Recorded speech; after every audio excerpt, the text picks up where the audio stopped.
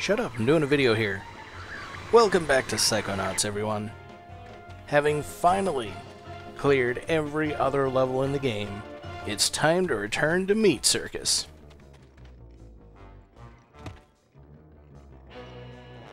Okay. The circus I remember from my childhood was definitely not made of meat. The last time I checked. No! No! Little bunny, don't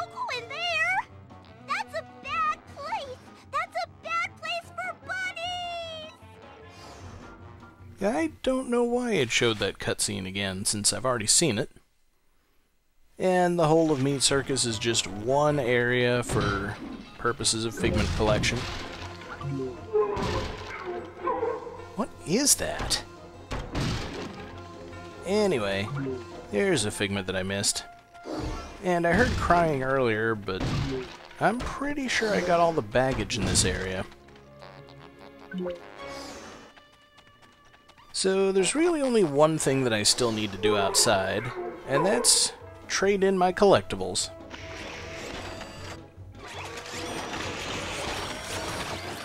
So the fortune teller turns my cobwebs into cards, my cards into ranks, without needing any cores, in case you forgot to buy any. And she would also trade in brains for health if I had any left, but I don't.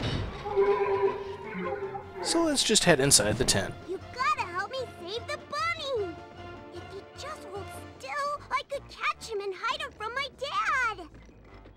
He runs a butcher shop. He wants to make food out of them. Oh, that's right. Morry's old man was a butcher. It looks like your childhood memories of the circus got all mixed up with his childhood memories of his dad's butcher shop. My memories were bad enough. This is just gross.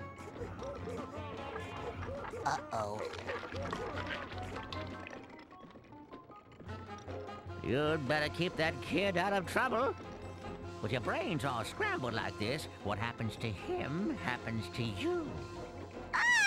Help!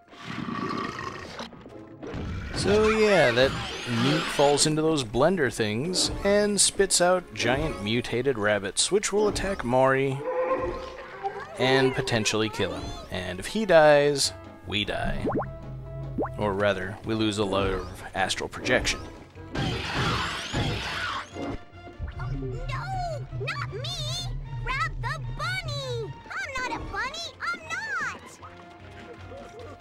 And as he says, we need to hold the little bunny still so that little Oli can grab it and save it.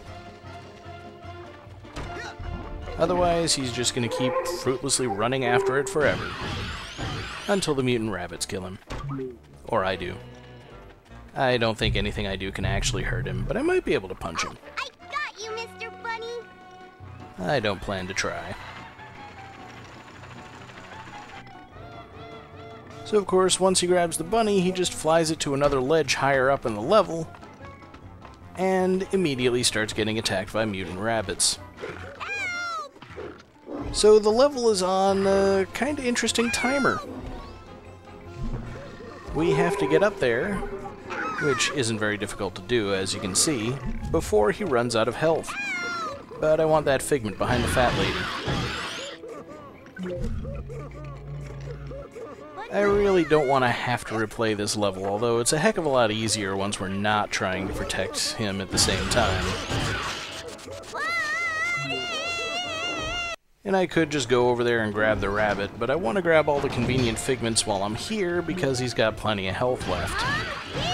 Rather than waiting until he gets up to the next ledge and chasing after him then. This takes forever.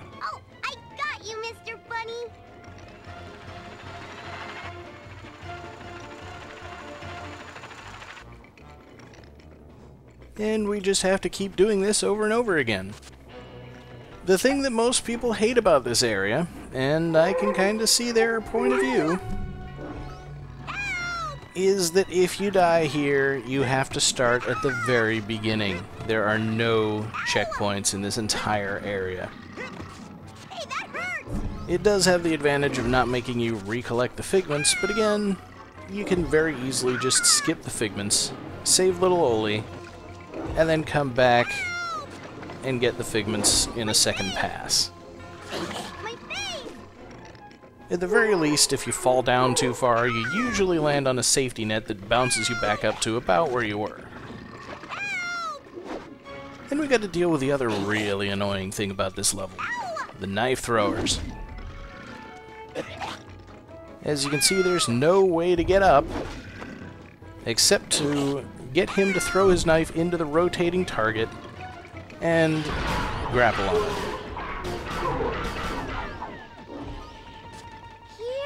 And now I've broken the music. I have no idea what just happened. Something, I think, about the sound of my ricocheting side blast, I'm not gonna hurt you. and this is really gonna grate on me.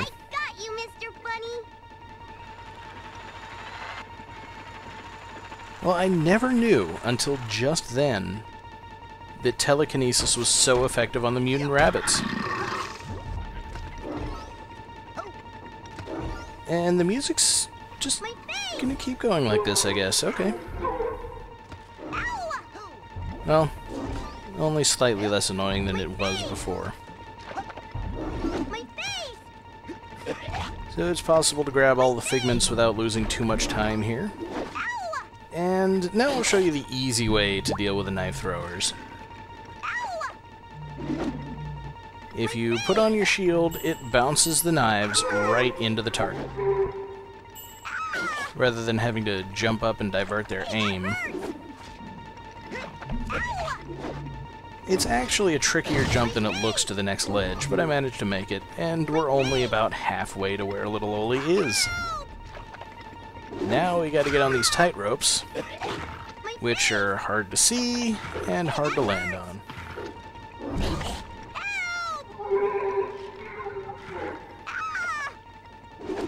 I'm playing with the camera here mostly just so I can hopefully see what I'm doing a little bit. And he's barely hanging in there. I couldn't tell whether my shots damaged him or not, but hopefully he can get to the bunny before the bunnies get to him. Here, bunny, bunny, bunny. Oh, I got you, Mr. Bunny. And that is at least the end of the timed portion of the level. There are no mutant rabbits trying to get him at the exit, and I can quite leisurely finish collecting all the figments here. And there is a way to take out the knife guys. But only temporarily. He'll be back up and throwing knives before you know it. Not much point to doing that, especially during the segments of the level where you actually need their knives to advance. So I'm just going to get out of here.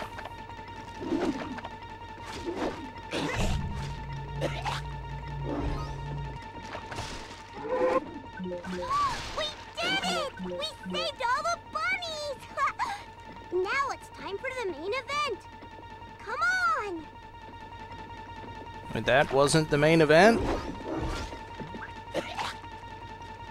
Well, at least the music stops when I open a vault, so hopefully this will fix it.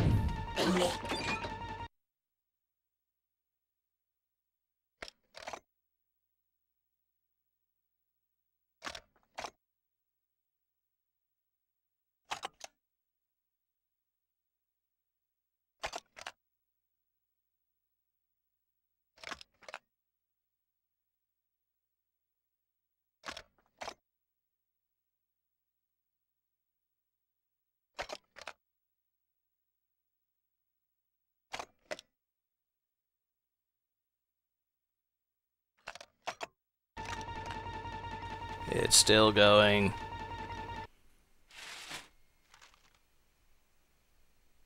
And I still can't tell how many figments I may have missed. Oh, come on! This is my favorite ride! Alright. Anyway, as you could see from the vault, even before he was rejected from the armed forces for being too short, he was traumatized by watching his father slaughter rabbits for the butcher shop when he was a kid. And I don't know whether that contributed to his fear of tall people or not, but It might have. Don't think I've got the tag for that bag yet. And here's the final cobweb. In the entire game,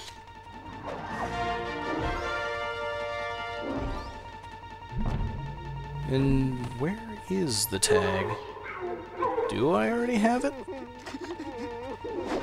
Eh, guess there's one easy way to find out.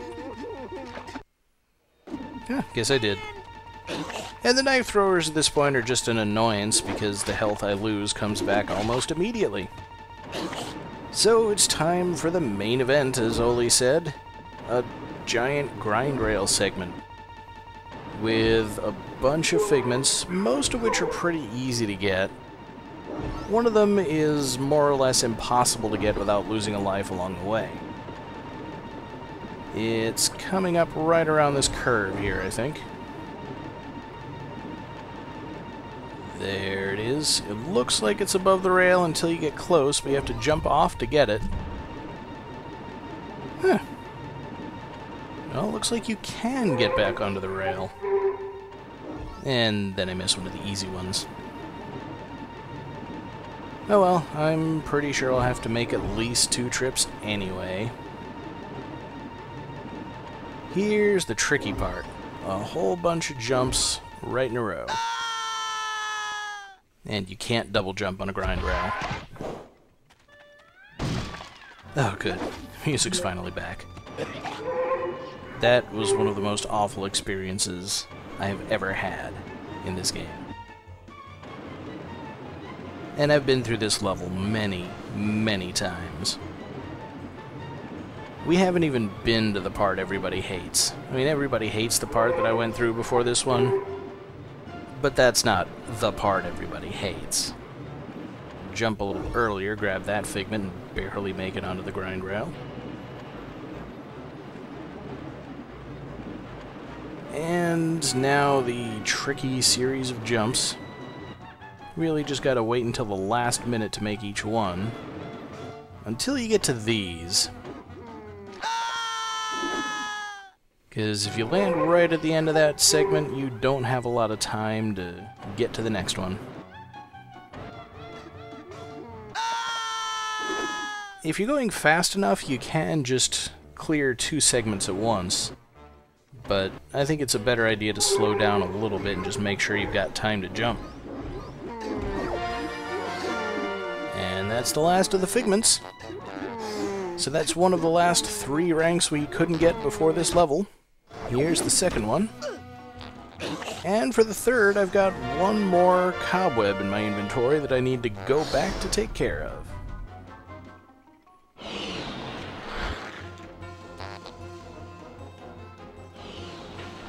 in an invisible bubble, apparently. And actually, while I'm at it, let's see how the fortune teller sees me. Ah, as a kid with a balloon made out of brains.